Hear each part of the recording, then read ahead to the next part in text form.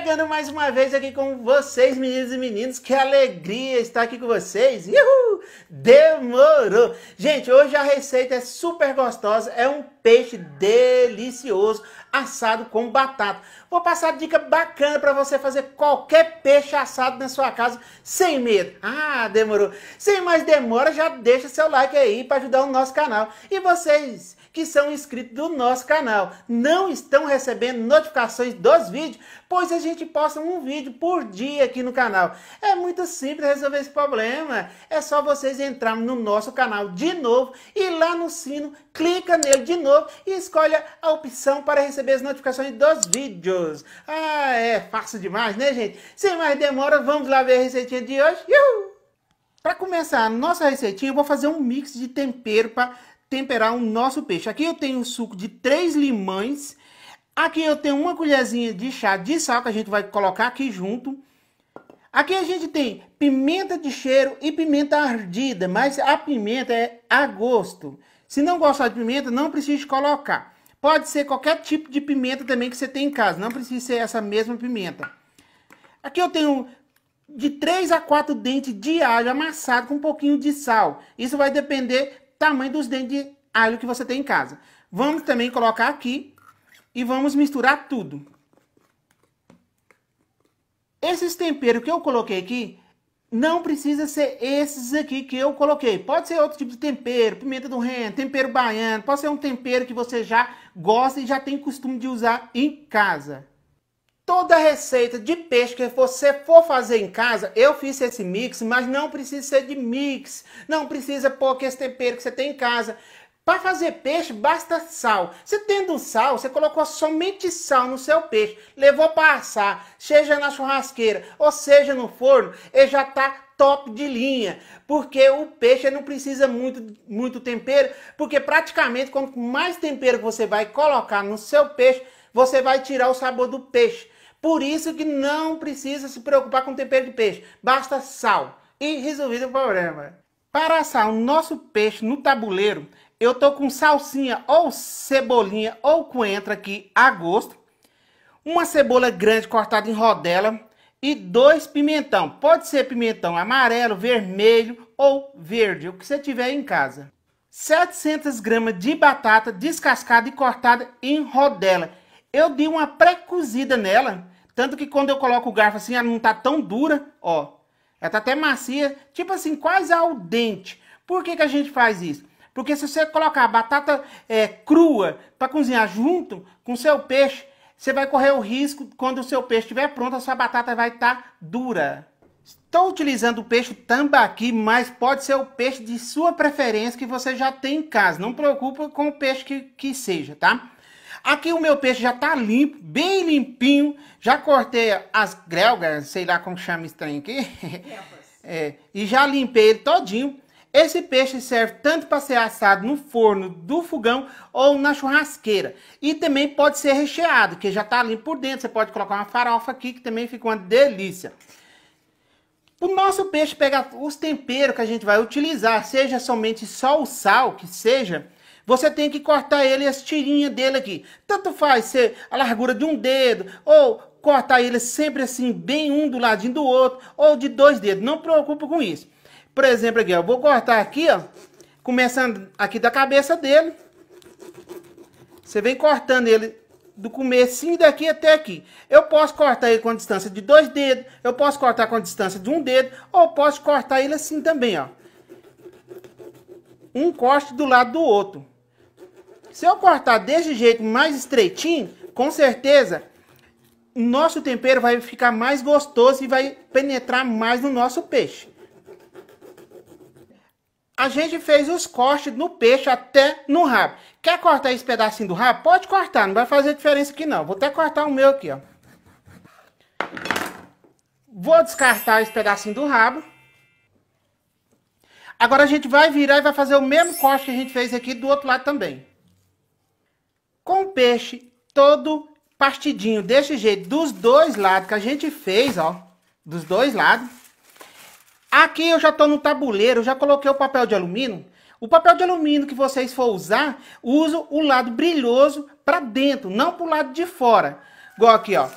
O lado de fora, sem brilho. O lado de dentro, brilhoso.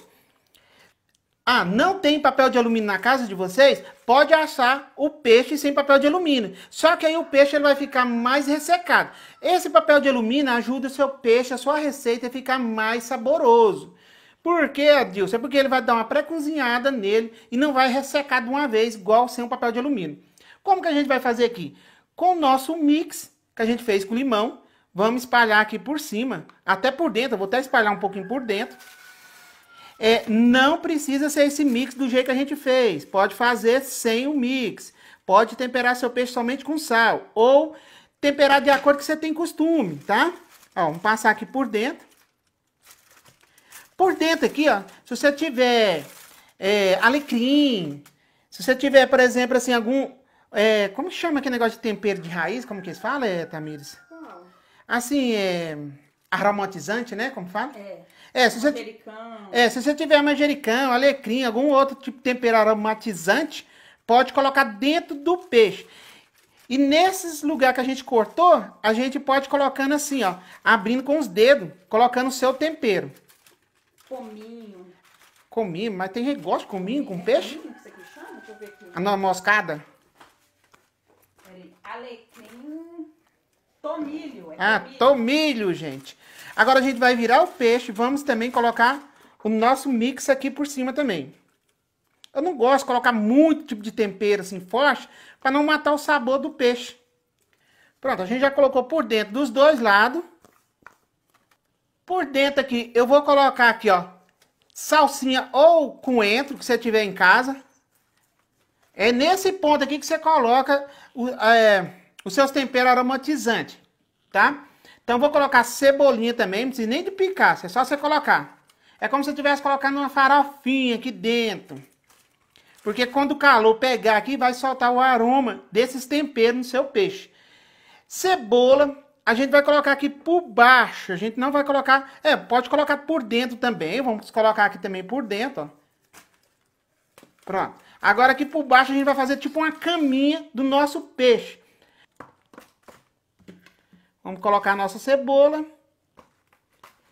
Além de você fazer essa caminha pro seu peixe, ele quando assa aqui também vai soltar o aroma da cebola, do pimentão ou de outro tempero que você colocar. Vamos colocar alguns pimentão aqui também, um pedaço aqui por dentro do nosso peixe. As nossas batatas já pré-cozidas, vamos colocar aqui do lado. Aqui ela vai terminar de cozinhar junto com o peixe. Com o nosso peixe todo ajeitadinho aqui, se tiver mais alguma coisa que você quer colocar aqui, um pedacinho de cenoura, mais pimentão aqui por fora, fica à vontade. Com o nosso peixe aqui, vamos cobrir igual com papel de alumínio, com um lado brilhoso para baixo.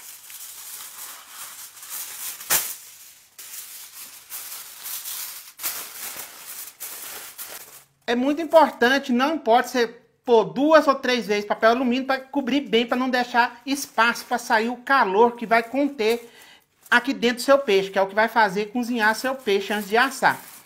Para sua receita ficar mais gostosa ainda, você pode deixar esse peixe marinando com os temperos que a gente colocou aqui dentro da geladeira por uma hora. Se passar uma hora, nosso peixe ficou marinando dentro desse tempero, ficou super gostoso. Mas se você tiver com muita pressa de fazer a sua receita, hum, pode levar direto para o forno. Então, com o forno já pré-aquecido a 5 minutos a 200 graus, vou levar para o forno por 25 minutos. Se passaram 27 minutos, quase meia hora que eu deixei no forno. Agora a gente vai tirar essa parte de cima do papel alumínio as nossas batatas dá para perceber que ela já está bem cozidinha, nosso peixe já está tudo bem cozidinho. O que, que a gente vai fazer aqui agora? A gosto, não gostar não precisa de colocar, gente. Vamos colocar um pouquinho de azeite aqui por cima. Vou até colocar por cima das batatas também. E vamos levar no forno agora, agora até dourar o nosso peixe, até ele ficar mais assim, douradinho, moreninho, com, aquela, com aquele aspecto assim de peixe assado, né? Porque aqui tá mais para cozido. Então vamos voltar novamente para o forno pré-aquecido a 200 graus. tiramos o nosso peixe do forno, deixa por 35 minutos, mas o tempo você pode deixar de acordo com o que você quer. Se você quiser mais douradinho, deixa mais tempo. Se quiser desse jeito, 35, no máximo 40 minutos está bom. Olha o nosso peixe cozidinho e assadinho, gente. Tá um cheiro, nossa, muito gostoso aqui em casa, ó. Vamos experimentar? Antes de finalizar esse vídeo, quero explicar para vocês se você comprar o peixe já fresco, já pode preparar ele e levar para o forno. Mas se você comprar ele congelado, você tem que deixar descongelar naturalmente. Não pode ser dentro da água e nem no sol, porque senão o peixe seu não vai ficar bacana na hora de você preparar ele, tá? Ah, que delícia! Espero que vocês gostou da receitinha de hoje. Já deixa seu like aí para ajudar o nosso canal. Abaixo desse vídeo aqui eu vou deixar as nossas redes sociais para vocês adicionar aí e um grupo do Facebook para vocês enviar foto lá pra gente depois postar aqui no canal nosso aí, tá bom? Vamos experimentar? Uhul! É, a batatinha também, ela ficou cozidinha, tá? Eu pegando pastinho uma aqui pra vocês verem. É, vocês só tô comendo devagar aqui porque tem que tomar cuidado com o espinho. Vocês tomam cuidado porque é muito perigoso espinho de peixe, né? Vamos ficar por aqui, porque agora eu vou almoçar com essa delícia de peixe. Obrigado vocês aí, compartilhe esse vídeo nas redes sociais com seus amigos aí para ajudar o nosso canal. E deixa seu like aí, valeu? Obrigado, Uhul! é nóis, tchau!